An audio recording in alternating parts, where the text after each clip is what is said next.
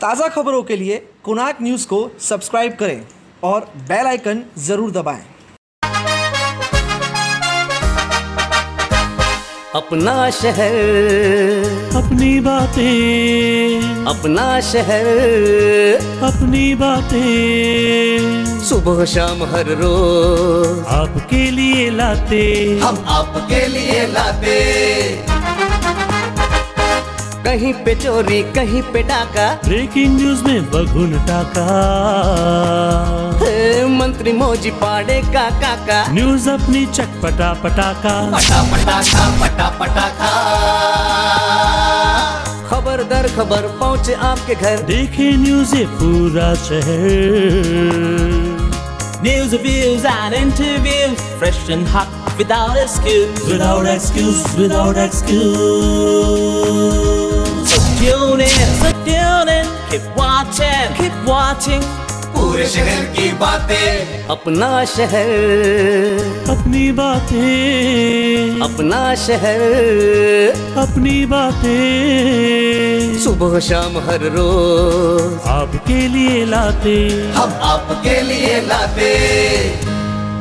कोणार्क अपना शहर अपनी बातें। नमस्कार मेरा नाम है अजय भूषण है और आप देखना शुरू कर चुके हैं कोनार्क अपना शहर अपनी बातें। आइए नज़र डालते हैं आज की कुछ खास सुर्खियों की ओर। कोणार्क अपना शहर अपनी बात। सेंट्रल पुलिस स्टेशन ने चोरी के एक मामले में इंदौर से एक आरोपी को गिरफ़्तार किया है। पता चला है उस आरोपी से कई माल भी बरामद हुआ है। आइए देखते हैं इसी के ऊपर एक खास रिपोर्ट। सत्रह सेक्शन उल्लासनगर में रहने वाले रितेश विजय कुमार गंगवानी इनके यहाँ 16 अक्टूबर को चोरी हुई थी। उसमें दो लैपटॉप एक एप्पल कंपनी का मोबाइल ऐसे टोटल साठ हज़ार का एवज चोरी हुआ था। टेक्निकल तपास करके हमने इंदौर से लखन कलम खुबानी इसको अटक किया है और दो दिन का पीसीआर उनसे लिया है। उनके पास से चोरी हुआ माल, दो लैपटॉप और एक एप्पल कंपनी का मोबाइल जब्त किया है। ये इसकी कुछ हिस्ट्री वगैरह है क्या ये आरोपी की? वो तपास में हम देख रहे हैं उसका कोई रिकॉर्ड है क्या? कोनार्क अपना शहर अपनी बात। शहर में इन दिनों ट्रैफ़िक की समस्याओं से हर वक्त जूझना पड़ता है चाहे वो श्रीराम चौक हो या Regal hotel complex furniture market Chowk हो। आइए जानते हैं इसी के ऊपर एक खास रिपोर्ट आप देख रहे हैं कि किस तरीके से उल्लासनगर के हर चौराहे की तस्वीर एक जैसी दिखाई देती है। हर चौराहे पर ट्रैफ़िक जैम की समस्या रोज़ाना एक जैसी बात है। अभी आप देख रहे हैं कि श्रीराम चौक पर कैसी ट्रैफ़िक जैम लगी पड़ी है और इसी तरीके से ईगल होटल, फर्नीचर मार्केट के चौक की हालत लगभग एक जैसी है। घंटों तक ट्रैफ़िक जैम में फंसे लोगों का हाल कैसा होता होगा, इसका अंदाज़ा भले भांति लगा सकते हैं। ट्रैफ़िक जैम की असली वजह यह होती है कि दुकानों के आगे गाड़ियाँ बेतरतीब तरीके से पार्क कर दी जाती है और फुटपाथों पर दुकानें खुल जाती है। जल्दी के चक्कर में दोपहिया वाहन कहीं से भी घुस आते हैं और ट्रैफ़िक जैम का मुख्य कारण बनते हैं। हमारा सभी शहरवासियों से निवेदन है कि यातायात के नियमों का पालन करें, अपनी गाड़ियाँ नो पार्किंग में पार्क ना करें, लाइन में खड़े खड़े बेवजह हॉर्न ना बजाए। कोणार्क, अपना शहर, अपनी बात। उल्लासनगर महानगर पालिका ने सफ़ाई कर्मचारियों के लिए जाँच शिविर का आयोजन किया गया है जिसमें लायंस क्लब ऑफ़ उल्लासनगर और अखिल भारतीय कांग्रेस का भी सौजन्य है। आइए देखते हैं। लायंस क्लब ऑफ़ उल्लासनगर में यूएमसी कोविड वेरियर का स्वागत किया है हमने आज। अ, हमारे यहाँ पे मार्च महीने तक सभी किस्म के विशेषज्ञ आते थे और सभी का टाइमिंग का हमारा टाइम टेबल भी छपा हुआ है। यहाँ का हेल्पलाइन नंबर भी है। तो कोरोना में सब डिस्टर्ब होने के वजह से हमने अक्टूबर महीने से ये रीस्टार्ट किया है। जिसमें अभी हमारे यहाँ ऑर्थोपेडिक जो है शाम को पाँच बजे से छः बजे तक डेली आते हैं। स्किन के स्पेशलिस्ट सोमवार को साढ़े चार से साढ़े पाँच आते हैं। आँखों के डॉक्टर भी सोमवार को साढ़े चार से साढ़े पाँच तक आते हैं। उसके अलावा दस रुपये में जनसेवा क्लिनिक हमने चालू की है, जिसमें एमडी डॉक्टर आपके बॉडी की पूरा परीक्षण जो आपको तकलीफ़ है, वो सुनते हैं, वो चेकअप के लिए आपको यहीं पे हमारे यहाँ डायग्नोस्टिक सेंटर है एक्सरे सेंटर है, दांतों का दवाखाना है, आँखों की चेकअप की सब मशीनें हैं। तो ये सभी हम लोग रीस्टार्ट किए हैं। दोस्तों, कोरोना काल के बाद ये सब हमको रीस्टार्ट करना पड़ रहा है और ये सब आप ही के आशीर्वाद से हो रहा है। वो आगे भी अच्छा ही होगा। हम लोग तुरंत सभी डॉक्टरों से संपर्क में हैं, लेकिन कोविड पूरी तरह से समाप्त न होने के कारण कई स्पेशलिस्ट कल्याण से, डोंबोली से नहीं आ पा रहे हैं। हम लोगों की पूरी कोशिश रहेगी कि दिसंबर के अंत तक हम सभी किस्म के स्पेशलिस्ट डॉक्टरों को यहाँ पे समय और वीकली टाइम टेबल लगा के हम सभी को बांटेंगे। फ़िलहाल हमारे पास जनसेवा क्लिनिक दस रुपये में चालू है। जेनरिक स्टोर है, वो 50 परसेंट डिस्काउंट में चल रहा है। दांतों का दवाखाना में दो मशीन है। हमारी master dental surgeon doctor Sneha Arora, वो सुबह 10 बजे से शाम को 10 बजे तक हमेशा अवेलेबल रहती हैं। डायग्नोस्टिक सेंटर में ब्लड चेकअप, यूरिन चेकअप, ये सभी हमारे यहाँ डिस्काउंटेड रेट में है। तो आप एक बार अवश्य उसका एक्सपीरियंस करके देखिए। और कोरोना काल में जो लोग बच गए हैं, उनके लिए संधि है। अपनी नियमित दो तीन महीने में एक बार चेकअप ज़रूर करवाएँ। लंबे समय से जो है मनपा के कर्मचारी कोरोना काल में भी देखें तो काफ़ी जो है उन्होंने शहर के लिए सेवा की, लोगों की जान के लिए सेवा की। तो आज किस प्रकार से लॉयंस क्लब में जो है इनके तपाशनी शिविर का जो है आयोजन किया गया है किस किस प्रकार की तपाशनी शिविर का जो है यहाँ पर आयोजन किया जाएगा?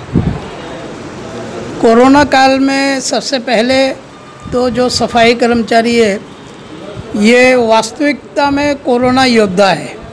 और इन्होंने पिछले छः महीने में दिन दिन रात एक करके काम किया है। एक दिन की भी कभी भी इन्होंने छुट्टी नहीं, अवकाश नहीं लिया है।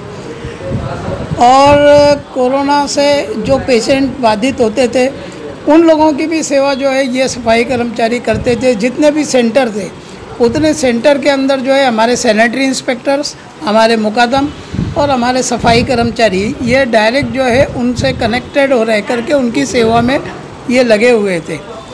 और दरमियान में जितनी शहर की सफ़ाई के अंदर जो सफ़ाई कर्मचारी थे, वो वास्तविकता उस समय जो है एक घर से एक आदमी निकलता नहीं था। लेकिन इन लोगों को बिना किसी प्रकार के जितना उन्हें साहित्य देना चाहिए था वो उतना साहित्य इनको नहीं मिलते हुए भी इन्होंने जो है बहादुरी से समाज की सेवा की है और नागरिकों की सेवा की है।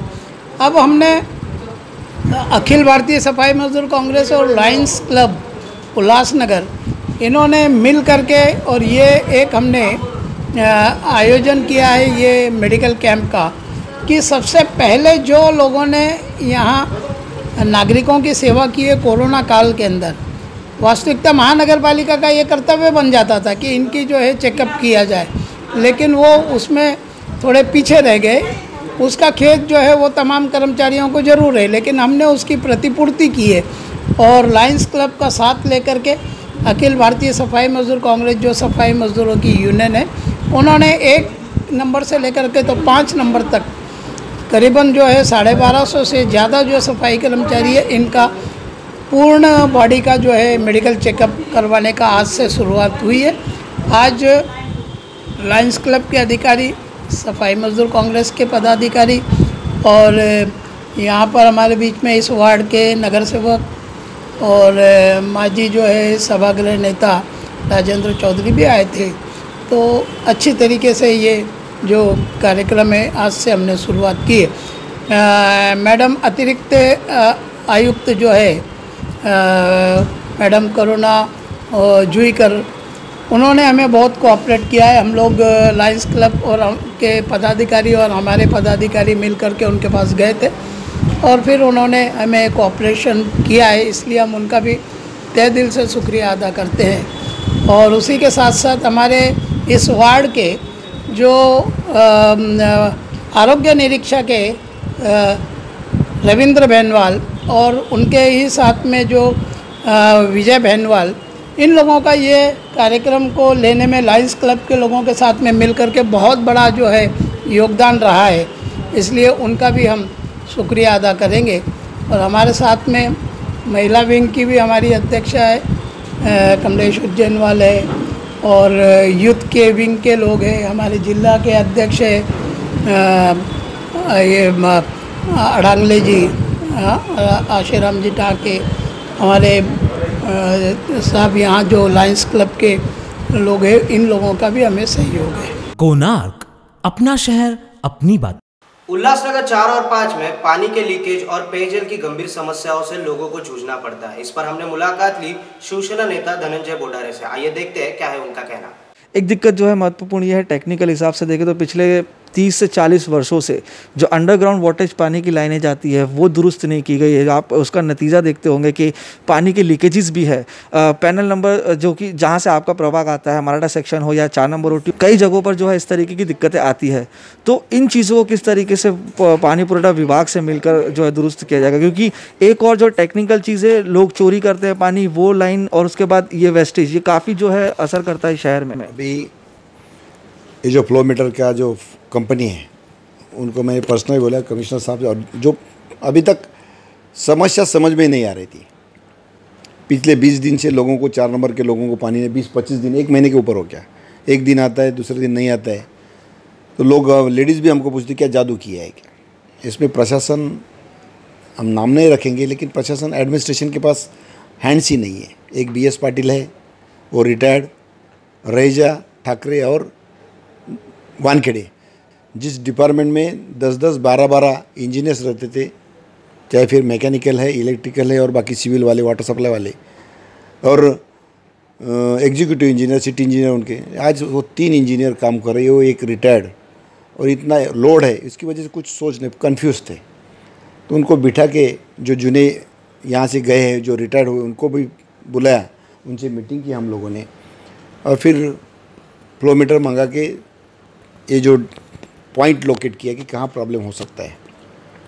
वैसे ही पूरे शहर में हमको मेन डिस्ट्रीब्यूशन लाइन से जहाँ से सोर्स आने वाला है और जहाँ जाने वाला है, जहाँ हमको पहुँचना है, उधर पहुँचना जितना समझो ओल्ड एम से दस एमएलडी पानी बोट क्लब में आना है तो उतना पानी उधर आना चाहिए, वहाँ से डिस्ट्रीब्यूट होना चाहिए, हम ये सोचेंगे। इस तरीके का परसों से मेरा कंसेप्ट है। कमिश्नर और एडिशनल कमिश्नर के पास बैठने के बाद मतलब सबको पानी मिलना चाहिए। मतलब पाँच नंबर में है, लाइन हमारे पास से गई है मतलब हमारी माल की, हमारे मेरे बाप की माल की है। तीन नंबर से गए तो मेरी माल की है। दो नंबर से गए तो मेरे घर के सामने मतलब ये म्यूनसिपलिटी की लाइन हमारी है। हम कैसा भी उसको, ये गलत है, ये मानसिकता ही गलत है। मैं सभी आपके माध्यम से, सभी जनता को, सभी नगर सेवकों को विनती करता हूँ, ये एडमिनिस्ट्रेशन इसमें काम करेगा शहर को पानी मिलने का, अगर वो हम, अगर दखलंदाजी देंगे इसमें गलत तरीके से, मेरे वार्ड में 24 घंटा पानी चाहिए, बाकी सब पैसे रहे तो एक शहर के लिए गलत रहेगा। फिर हमारे पीछे वाला वैसा ही करेगा। कोनार्क अपना शहर अपनी बात। उल्लासनगर शहर उल्लासनगर शहर सपनों का शहर कहने जाने वाला शहर यहाँ पे एक मेडिकल कॉलेज की समस्या है। यहाँ पे मेडिकल हॉस्पिटल है यहाँ पे सेंट्रल हॉस्पिटल है पर मेडिकल कॉलेज नहीं है। क्या मेडिकल कॉलेज का ये सपना सपना ही रह जाएगा? इसी पर हमने मुलाकात ली राजेश वदेरिया जी जो बहुचर्चित नेता है भारतीय जनता पार्टी के। आइए देखते हैं क्या है उनका कहना। सर, हाल ही में जो है मेडिकल सुविधाओं को और जो वंचित है, शहर में सुविधा है, उनको लेकर आपने जो है कुछ मांगे की है। कुछ प्रशासन से जो है इसके बारे में विचार विमर्श करना चाहिए ऐसी बातें। जानना चाहेंगे किस तरीके की राय है, किस तरीके से जो इससे लाभ हो सकता है शहर के नागरिकों को? ये बात काफ़ी पुरानी है, लगभग डेढ़ दो साल पहले, जब श्री दीपक सावंत जी उस समय के हेल्थ मिनिस्टर यहाँ आए थे। कामगार हॉस्पिटल का जो प्रोजेक्ट है, उसका भूमि पूजन करने के लिए। तो क्योंकि वो मेरे वार्ड में पड़ता है तो मुझे भी वहाँ बुलाया गया था। और डॉक्टर श्रीकांत शिंदे जी, एकनाथ शिंदे जी वगैरह, गणमान्य व्यक्ति वहाँ उपस्थित थे। तो मैंने उनको पत्र देकर एक मांग की थी। वो मांग इस तरह की थी कि सेंट्रल हॉस्पिटल में 200 से ज़्यादा बेड अवेलेबल हैं। और 100 बेड कामगार हॉस्पिटल में है और 100 bed government maternity hospital Ulhasnagar चार में है। मिनिमम कैटेगरी कैटेगरिया ये है कि मेडिकल कॉलेज बनाने के लिए 200 बेड की हॉस्पिटल चाहिए। हमारे पास उल्लासनगर में उससे ज़्यादा की सुविधाएँ अवेलेबल हैं और सेंट्रल हॉस्पिटल को जिला दर्जे का दर्जा दिया गया है, लेकिन उसके बाद भी सुविधाएँ अवेलेबल नहीं हैं, दवाइयाँ अवेलेबल नहीं हैं, डॉक्टर, नर्स अवेलेबल नहीं है। और यहाँ पर इस तरफ़ करजत, उस तरफ़ कसारा के ग्रामीण पट्टे से भी सभी लोग यहाँ रेफ़र किए जाते हैं। तो मेरा ये सुझाव था कि ये मेडिकल कॉलेज का दर्जा देने से वहाँ पर जो छात्र मेडिकल की पढ़ाई और नर्स के कॉलेज से होने से नर्स की पढ़ाई करने को जो बच्चे आएँगे, वो बच्चे पेशेंट की सेवा भी करेंगे, उनका ख्याल भी रखेंगे और अपना जो उनका इंटर्नशिप है, वो भी वहाँ करेंगे। और मेडिकल कॉलेज होने से जो बाकी की सुविधाएँ हमारे उल्लासनगर वालों को और आजू बाजू के जो रहने वाले हैं, इस तरफ़ करजत उस तरफ़ कसारा तक, उनको भी मिलेगी। तो वो उन्होंने मुझे बोला था कि ये बहुत अच्छा आपका सुझाव है, इसके ऊपर हम लोग ध्यान देंगे। लेकिन बाद में उनकी गवर्नमेंट चेंज हो गई इलेक्शन हो गया और थोड़ी सत्ता का परिवर्तन हो गया सिस्टम पूरा बदल गया। तो ये आज भी मैं वही मांग रखता हूँ उनके सामने कि मेडिकल कॉलेज का यहाँ दर्जा देना चाहिए और उससे उल्लासनगर की जो गरीब जनता है और उल्लासनगर के आसपास की ग्रामीण इलाकों की शहरी इलाकों की अंबरनाथ बदलापुर से लेकर इस तरफ़ ग्रामीण में करजत कसारा की जनता को इससे बहुत बड़ा लाभ होगा। कोनार्क अपना शहर अपनी बात। उल्लासनगर चार प्रभात गार्डन परिसर पानी की टाकी के यहाँ कुछ गंजेड़ी और गर्दुल्लों का जमावड़ा लगा रहता है। पता चला है कि वहाँ के रस्तों पर लाइट की भी काफ़ी समस्या है। वहाँ से गुजरने वाले लोगों को काफ़ी परेशानियों से भी जूझना पड़ता है। आइए देखते हैं इसी के ऊपर एक खास रिपोर्ट। सारी जगह है असामाजिक तत्व यहाँ पे रहते हैं। तो क्या दिक्कत कभी हुई है आसपास में चोरी की घटनाएँ कभी? चोरी की घटनाएँ हमारे एरिया में तो नहीं लेकिन आ, कई बार पता चला है हमको कि यहाँ पे चोरी हो रही है यहाँ के। बस बाकी कोई तकलीफ़ नहीं। कभी ऐसा डर लगता है रात के समय में शाम के समय में या फिर घर से महिलाएँ जाती होगी तो? बस हाँ वो तो है। डर लगता है आपको कभी आप अकेले यहाँ से जाते? यही पोर्शन में लगता है डर। क्योंकि काफ़ी ऐसा अंधेरा रहता है यहाँ पे हाँ। तो उसके वजह से लगता है। नशा करते हुए कभी किसी को देखा होगा? मतलब ऐसे थोड़े लड़के रुके रहते हैं लाइक थोड़े स्लम एरिया के तो थोड़ा उनसे हमको डर लगता है। सेफ़ नहीं लगता ये ये एरिया में। ये जो सरकारी ज़मीन पड़ी है खंडर के रूप में आपने यहाँ पे आते जाते देखते होंगे तो क्या दिखता है यहाँ? पूरा कचरा दिखता है भंगार दिखता है जो बेवरे लोग का आना जाना रहता है पूरा सोए रहते हैं बेवरे लोग। अच्छा। कुछ भी पीते रहते हैं कभी भी। अच्छा। सिगरेट को पीते हैं दारू पीते रहते हैं। यहाँ पर चोरी की घटनाएँ हुई है? फ़िलहाल अभी थोड़ा टाइम पहले ये ये टाइम पे थोड़ा नहीं हुआ पहले हुआ था एक दो बार। अच्छा। हाँ। मतलब चोरी की घटनाएँ होती रहती है। होती रहती है ना सीधी बात है खुला ओपन मैदान है और रात को सुनसान रहता है इधर नौ के बाद तो। इस इस जगह से रोज़ाना आना जाना है आपका? अच्छा ये खंडर जैसी जगह है इसके बारे में कुछ बता सकते हैं आपके यहाँ क्या होता रहता होगा? खंडर ये खंडर जैसे कि आप देख रहे हो कि आने जाने के लिए शाम को बहुत तकलीफ़ देता है। जैसे कि फालतू लोग खड़े हो जाते हैं तो हमको आने जाने में बहुत दिक्क- दिक्कत होती है। अच्छा। हाँ जैसे हम लोग अभी आप देख रहे हो कि अभी खाली है शाम को आप खुद आके देखोगे तो यहाँ पे फालतूगिरी बहुत ज़्यादा होती है। सरकारी जगह है लेकिन खुद देख रेख नहीं होती तो क्या कहेंगे प्रशासन को? प्रशासन को इतना कहेंगे ये तो पब्लिक की जगह होती थी तो आप खुद ही एक्शन लेते थे। अभी सरकारी जगह है तो आप एक्शन क्यों नहीं ले रहे हो? कोणार्क अपना शहर अपनी बात। पुलिस ने लूट मार और छीना झपटी के आरोप में दो लोगों को गिरफ़्तार किया है। आइए देखते हैं इसी के ऊपर एक खास रिपोर्ट एक व्यक्ति को लूटने के इरादे से चोरों ने किया उस पर जानलेवा हमला।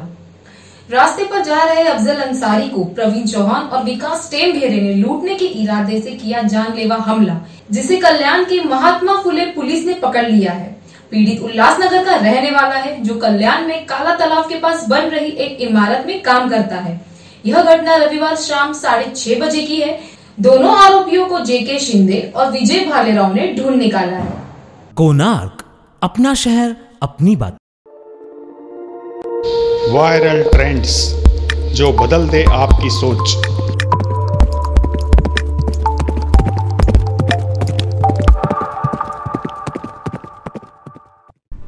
हाँ बेटा कितनी होगी बुक? बाबा जी बस थोड़ी सी आती है बुक। अभी तक इसमें से क्या सबक निकाला है? बाबा जी बुक का तो मेन पॉइंट यही है कि जब आप 18 साल के हो जाते हैं तो आप इंडिपेंडेंट हो जाते हैं और अपनी मर्ज़ी के मालिक होते हैं। तो क्या बाबा जी ये ऐसा ही है और आपने भी ऐसा किया था? नहीं बेटा मेरा ख्याल है मुझे 18 साल को हुए भी 18 साल से ज़्यादा हो चुके हैं। और हमने तो कभी ऐसा नहीं सोचा। और ये बुक किसी मगरबी मुसनफ़ की है। जी बाबा जी। उनके मुआशरे में इंडिपेंडेंस का मतलब है कि अपनी फैमिली से कट जाना और सब कुछ अपनी मर्ज़ी से करना। लेकिन हमारे यहाँ इंडिपेंडेंस का मतलब थोड़ा मुख्तलिफ़ है। अच्छा बच्चों में खुद ही आ जाती है। वो कहते हैं मैं अपना खुद करूँगा और अपनी फैमिली को भी पालूँगा। ये सोच आ जाती है। और मैं आपको एक मिसाल दे के बताने की कोशिश करता हूँ। ये पौधा पकड़ो ये देखो। मिसाल के तौर पे ये पौधे में ये पत्ते लगे हुए हैं ना? जी बाबा जी। पत्तों की ताकत और खूबसूरती जड़ों के साथ जुड़ गई है। अगर मैं आपके सामने ये पत्ता काट के फेंक दूँगा ना जी। थोड़ी देर के बाद ये मुरझा जाएगा ख़त्म। जुड़े रहने में बरकत है। ताकत है और खूबसूरती है। इसी तरह फैमिली होती है हमारी। जैसे मिसाल के तौर पे हमारी फैमिली हम मैं और आपके चाचू मुख्तलिफ़ काम करते हैं इंडिपेंडेंटली और लेकिन फैमिली हमारी एक है। उसी में खुशी है उसी में ताकत है उसी में बरकत है। जी बाबा जी। तो इंसान की अपनी मर्ज़ी है कि उसको क्या चूज़ करना है। आप जिन मुआशरे की बात कर रहे हो यहाँ पे हर इंसान काम करता है और हर इंसान परेशान है। आज भी वो मुआशरे खुशहाल हैं जहाँ फैमिली इकट्ठी रहती है। वहाँ बरकत है ताकत है। चॉइस इंसान की अपनी है। आखिर में नतीजा उसको खुद भुगतना है। जी बाबा जी कोनार्क अपना शहर अपनी बात। तो ये थी आज की कुछ खास खबरें। फिर से एक बार मिलेंगे नई खबरों के साथ। तब तक के लिए आप बने रहिए कोनार्क न्यूज़ के साथ। और अगर आपके पास कोई न्यूज़ हो तो नीचे दिए हुए नंबर पर आप हमें संपर्क कर सकते हैं। तब तक के लिए मैं रहता हूँ आपकी रजा। धन्यवाद।